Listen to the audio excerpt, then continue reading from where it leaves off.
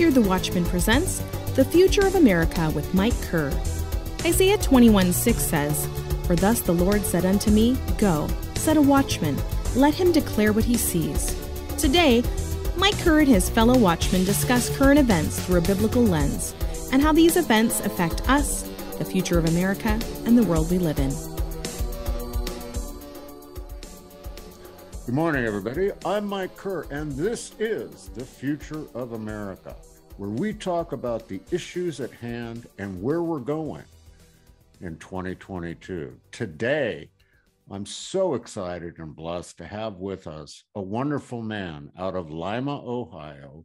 His name is Pastor Mike Spaulding, and he is the pastor at the Calvary Chapel there in Lima, Ohio. He has been a speaker at our Hear the Watchman conferences and a frequent guest on our show. Dr. Spaulding, thank you so much for joining us.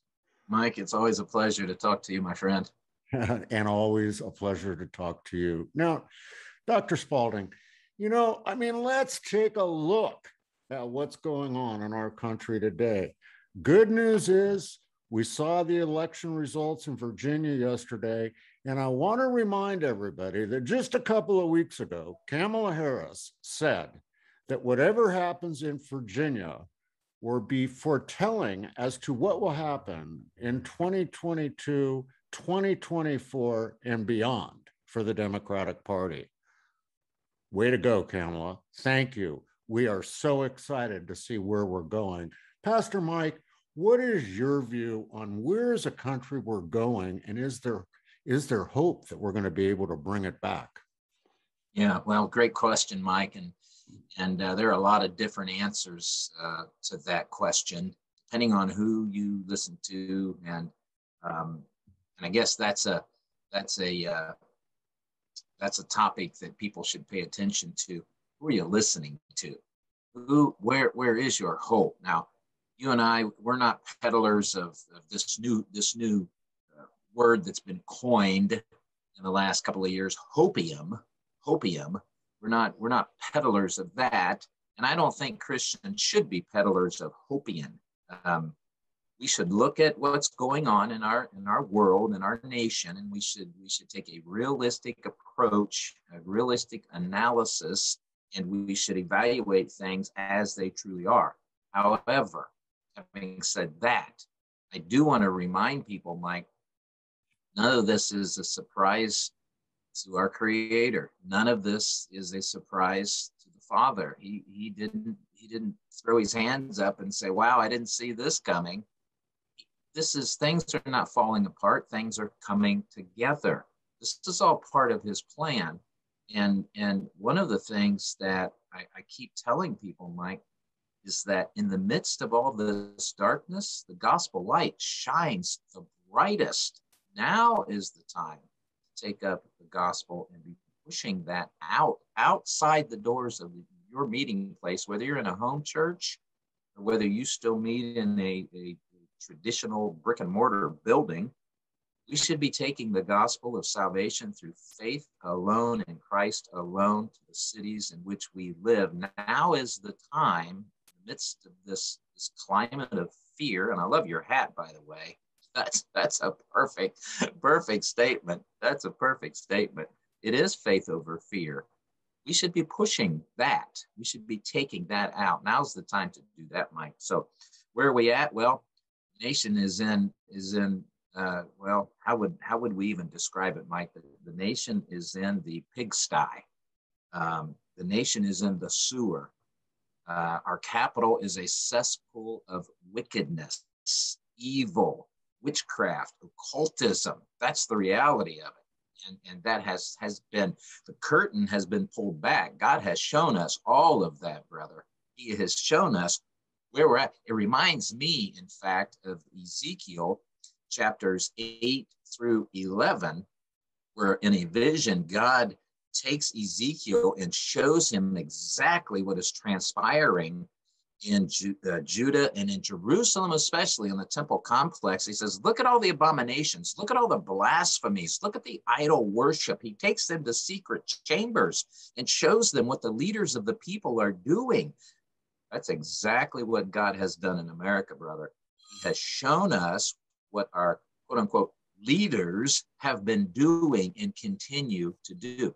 It is evil at a level that we've never seen in this nation.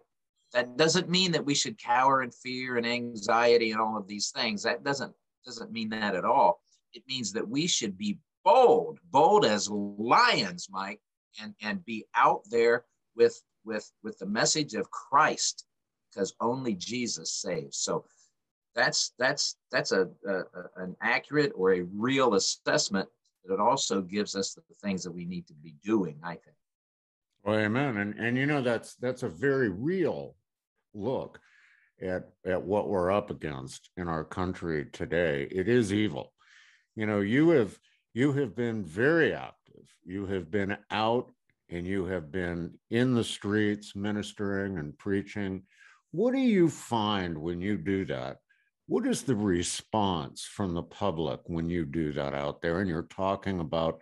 I've seen you in front of the courthouse, I've seen you in front of City Hall. What do the people think? They are hungry for truth, right? Even in even in their lost state, even in even in their estrangement from the Father, um, they know something's not right they're in agreement with those of us who are born again, spirit filled, blood bought, redeemed by the Lamb believers. They're in agreement with us that evil and wickedness, it's off the chain. They're in agreement. They, they understand. And so they're looking for solutions. And, and, and Mike, they're not finding them in their normal places. They're not finding them among their families and friends, among their coworkers. They're not finding because everybody else that they know in their circle, they're as bewildered as they are. And so they're open right now. They are open to hearing, well, here's the solution to what's going on. They're open. And I approach it this way, Mike, because this is the most disarming way to approach other people, especially lost people, ask them if you can pray for them. Just simply be the hands and feet of Jesus. Ask if you can, because I'll guarantee you, you ask if you can pray for them, and you're going to get people say, Absolutely, because I need it. They tell us that all the time. In fact, we've even had shirts made up that says, How can I pray for you on the front? And when people see that, you don't even have to ask them, they come to you. Last time Kathy and I were out in uh, uh, Fort Wayne, Indiana, it's about an hour away from us, uh, city of about 200,000. Um, they had a festival over there about a month or so ago. And Kathy and I went, and she was wearing her shirt. How can I pray for you? She had at least, at minimum, Mike, no exaggeration, at minimum of a dozen people that came to her and said, Would you pray for? And then whatever was on their mind or on their heart. So people are open to the supernatural. They're they they they like like I haven't seen in decades, Mike. They are open to the reality that God does care, that He will hear their prayers, and He wants to respond in a way that will answer their their heart's desires. And so that's what we need to do. Be out on the streets because Mike, you and I are about the same age. We've seen the church from the 60s and the 70s. People came to church in those days. They don't come to church today. We got to go get them. We've got to go to them. In fact, that's what the commission, our commission tells us. Go therefore unto all the nations. We're to go to them because they're not coming to us. So when you go to the streets, folks, you go with a disarming message. You're not there to be confrontational. You're not there to challenge anybody. You're there to represent Christ. Go there in the compassion and sympathy. And often when you meet people, Mike, you'll you'll realize, well, I can empathize with you because I've been through the same thing you've been through. And I can tell you something when a lost person meets someone who knows the Father, the glow of Jesus is on their countenance, and then they hear, wait a minute, You've experienced the same trials and travails, nastiness, ugliness, evil in your life that I, and yet you survived and you're like this. Man, that gives them something to go on, Mike. So go out into the streets, friends. Just share Christ. Walk in your neighborhoods. We spent the entire summer this year, Calvary Lima, spent the entire summer this year just walking around the neighborhoods around our church. We went downtown Lima and we were just engaging people. Some some people were mowing their grass and, and, and we stopped them, gave them a break, asked them if we could pray for them, handed them a Bible, said, Would you receive the word of God? Some people, one, one guy trimming his hedges. I, I and, and I announced my presence there. I didn't want him whipping around with those hedge trimmers when I was so, because I was too close. So I said, "Hey, hey, can I can I talk to you for a minute?" I was about ten feet away. He stopped, man. He was sweating. He said, "Thank you for the break." so they're wanting to talk with us, Mike. They're wanting somebody that can make sense out of what's going on in our in our nation today. And brother and sister, those of you who joined us for this show, that's you. That's you. If you have the Spirit of God living in you, that's you. That's your commission. You're to go out to the people and share the hope that is in Christ. What's it say in First Peter? We are to be ready in season and out of season to share the reason for the hope that is in us. And that's the Lord Jesus. Mike, that, that is the solution to everything that's going on today. Share Christ. Well, you know, it's it's I'm just uh I'm beaming listening to you, Pastor, because I mean, just think what would have happened if Jesus sat under a tree and waited for everyone to come to him, right? I mean, where would we be right. today if that was the deal? You know, uh, we see in America today such a fragmented political system. Do you think that anyone will ever trust the election process again? Wow. Yeah. Well, I know that I don't. I'll, I'll, give you my personal testimony. That's why I was shocked to see the results in Virginia. My, mm-hmm. my, my, first response was, oh, did they not use Dominion or, or, or did they not, did they, did they not try? I mean, listen, there is no political solution, friends, if Christ is not in it. There is no political solution to what this country uh, needs unless Jesus is in it. And so, what we need to do is we need to take a good long look in the mirror because then we'll be looking at ourselves. And I, Mike, I don't know any other way than to just say it. America is in the position that it's in today because of the Christians in the church. We have we have sat down along with our, our fellow brothers and sisters, citizens, brethren, Americans, we have sat down and enjoyed the fruit of the founders in the last couple of hundred years, the fruit of Christianity, because Christianity is, is what this nation was founded on. Our laws, our morality, our ethics, all of those things came out of Christianity. Science, medicine, I mean, I could go on and on and on. It's all on a foundation of Christ, but we've sat back and we haven't defended that against all of the attacks that have come against us. We could go all the way back to, to the 1800s to the rise of the social gospel that that really the governments and and and and the manipulators of our government way back in the late 1800s used the church to bring in the social gospel and got us off off focus and and then prayer left the schools and Bible reading left the schools. And then we came in with all of these other discoveries in the Constitution. Who knew they were there, right? Christians sat back and watched all of this happen, and we, well, we might have, we might have whined and complained and you know moaned and groaned a little bit, but at the end of the day, we went back to our lives and back to the thing. You know, well, guess what? Pied Piper, time to pay the piper. That's where we're at right now. So if we're going to turn this around and head us back in the right direction, my Christians have got to re-engage with our culture. And that needs to start at the local level. Can you believe now that we are in a nation, Mike, where where the Department of Justice has now said that parents who complain to school boards and tell school boards, you will not teach our children this, we're domestic terrorists. Can you imagine that? Well, guess what, folks? We allowed it to get to this place. So now it's it's not time to say, oh, okay, well, I don't want to be labeled a domestic terrorist, so I guess I'll just stand down. No, you keep pressing because we're gaining traction. We are making progress in pushing back against this darkness. So don't give up. You keep doing that. Those of you who are going to school board meetings, those of you who are engaging your teachers and your superintendents in your local districts, those of you who are running for county commissioner, for mayors of your city, for city council, all of these things, you keep doing that because if we're going to redirect America back to the path of righteousness, then it's going to start at the grassroots level. Only then, when we have a groundswell, are we going to be able to address Washington, D.C. Till we do that, Mike, we're not going to change a thing.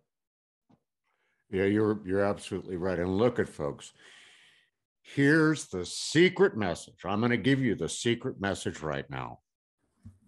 Get off the couch and get out and spread the word. Amen. That's it secret. That's it. Secret. So, Pastor, uh, you've got uh, you've got an exciting event coming up this weekend uh, that you're participating in. Tell us a little bit about that. Yeah. So uh, the the Hidden Day, David Paxton's uh, ministry, he has launched out into to uh, hosting conferences. So the Hidden Day uh, Prophecy Conference. How close are we? Is at the Harvest Revival Center in Brookville, Ohio, uh, this Friday, Saturday, uh, concludes Sunday morning. Um, I'll be speaking Saturday. I think I'm slotted for two o'clock in the afternoon, but uh, many of our of, of our brethren and, and uh, cadre uh, from Hear the Watchman and and uh, Go Therefore will be will be speaking there. L.A. Marzulli is is is is one. Dr. Andy Woods will be there. Olivier Melnick, um, Jeff Kinley, um, and I and I know I'm going to forget somebody. Pastor Casper, David Heavener, uh, Doug Woodward, Mark Sutherland, um, Billy Crone is going to be there. Chris Taylor, Pastor Neil Peterson. Um, just a whole uh, long list of, of wonderful speakers. You can go to thehiddenday.com and register for that. Um, I think it's going to be a great time, Mike. I wish you lived closer, brother, because I know we could sure be doing some stuff together. I know. I I, I would love to. You know, I just uh, Jeannie and I, uh, folks, are just we're we're planning 2022 for Hear the Watchman, and I can tell you something. We like to drive now to go to the conferences, so uh, we'll see though. We're we have lots of faith in what's going on in the year ahead and what God will do for all of us. So, Pastor, thank you so much for taking time out of your day today to join us on the show. Well, Mike, it's always a blessing and an honor, brother. I appreciate what you and Jeannie are doing, what the Lord has enabled you and continues to provide for you to do. It is a blessing to the body. Well, folks, that's going to wrap it up for today's edition of The Future in America. We'll be back this week with more shows for you to check out and take a look at. Please subscribe to our channel. Uh, take the time to click the bell so you get notifications of upcoming shows. Also, everyone that's watching this that knows Russ and Shelley Dizdar, please pray for Shelley Dizdar. While we were on this interview, I did get a message that was disturbing. She has been moved to ICU and is being intubated. So please pray for Shelley and her recovery. Pray hard to God. We'll see you next time on The Future of America. God bless and remember Never ever give up and always help your brothers and sisters. Okay. Yeah, that was, I'm sitting here interviewing you, and Jeannie sends me a text. Oh boy, Mike. It says, uh, urgent, Shelley is in ICU and intubating. That's not good. No, you know, I don't know. And I, I mean, let me stop the recording here. Hold on. To support the work of Hear the Watchman, find a way to get involved, or learn more about upcoming events, visit our website at www.hearthewatchman.com. hearthewatchman.men.com. Subscribe to our YouTube channel, Hear the Watchman Journey, and be sure to share our content on your social media. God bless you, and thanks for your prayers and support. And until next time, go be a watchman on the wall and declare all that God has shown you.